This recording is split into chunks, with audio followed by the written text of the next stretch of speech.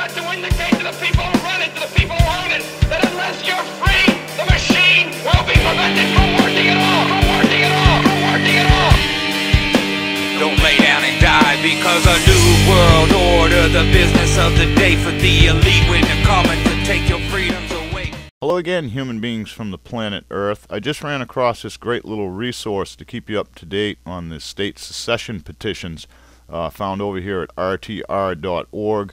And I wanted to pass that along to you because this is updated every few minutes. Um, and you can see that uh, already quite a few states have made the necessary 25,000 signature limit to be considered.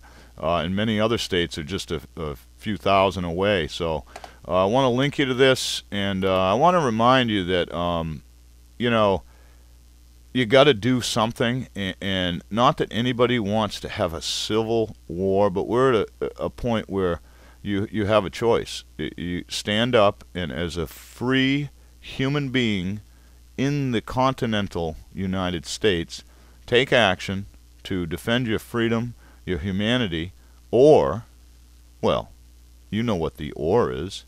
Take the chip, go to the camp, remain a sheep. Good Lord. Link will be below. Much love. Many thanks. And I'll see you again.